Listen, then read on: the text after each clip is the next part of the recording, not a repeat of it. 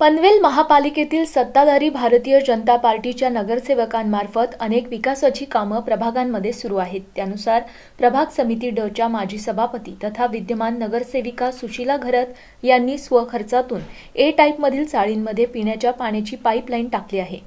या पाईपलाईनचं उद्घाटन भाजपचे उत्तर रायगड जिल्हा अध्यक्ष आमदार प्रशांत ठाकूर यांच्या हस्ते सोमवारी झालं.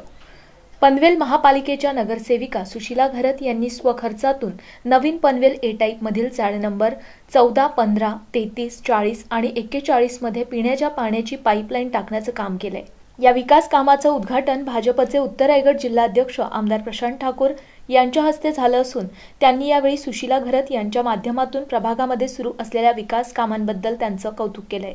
यावेळी पनवेल महापालिकेचे नगरसेवक अनिल भगत ॲडव्होकेट मनोज भुजबळ नगरसेविका सुशीला घरत भाजपचे पनवेल शहर अध्यक्ष जयंत पगडे ज्येष्ठ नेते सीसी भगत माजी नगराध्यक्ष संदीप पाटील भाजप नेते जगदीश घरत सेक्टर सतरा अध्यक्ष विजय म्हात्रे सुधाकर चौधरी सुधाकर थवई जनार्दन पाटील राजेंद्र जाधव गौरी पवार रुपाली पाटील पूनम पवार राजू पाटील मयुरी उनडकर संदीप पाटील राजू कोळी यांच्यासह पदाधिकारी कार्यकर्ते आणि नागरिक उपस्थित होते सगळ्यात आधी आम्हा सर्वांच्या वतीनं या कामाचं एका अर्थानं लोकार्पण झालं असं आपल्या सर्वांसमोर जाहीर आहे. ज्यांचं काम झालं त्यांचं अभिनंदन करतो. आणि हे अभिनंदन करत असतानाच इथे चंद्रभागा एक असोसिएशनच्या वतीनं आणि वेगवेगळ्या मार्गानं निवेदन आलेली आहेत. सी सी भगत साहेबांनी स्पष्ट भूमिका मांडलेलीच आहे.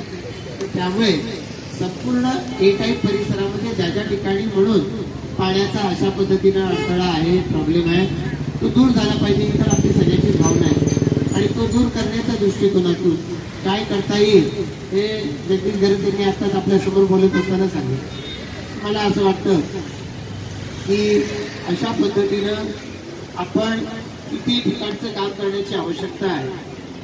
मागच्या वेळेला एकदा आपण या सगळ्या परिसरामधलं पाण्याचं ऑडिट केलेलं होतं.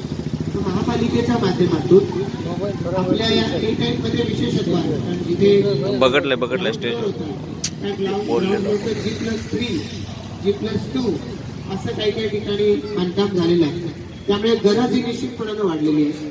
या वाढलेल्या गरजा पूर्ण करण्याच्या दृष्टिकोनातून समजा सिडकोनं प्रयत्न करायचा समजा महापालिकेनं प्रयत्न करायचा तर त्या पाईपलाईन जिथून गेलेल्या आहेत बऱ्याचशा ठिकाणी त्या पाईपलाईन वरती सुद्धा बांधकामं झालेली आहेत. अशा वेळेला हे काम नेमकं कशा पद्धतीनं करणार? याचं महापालिकेच्या माध्यमातून त्याचं जर ऑडिट झालं ते महापालिकेने स्वतः करावं टेक्निकल एजन्सीकडून करून घ्यावं पण ते जर ऑडिट झालं तर त्याचा फायदा नेमकं काय काम केलं पाहिजे कसं केलं पाहिजे याच्यासाठी होऊ शकतो. आणि मग हे काम लवकरात लवकर व्हावं या दृष्टिकोनातून मी महापालिकेचे आपले नगरसेवक जे उपस्थित आहेत महापौर आयुक्त यांना सूचना करेल.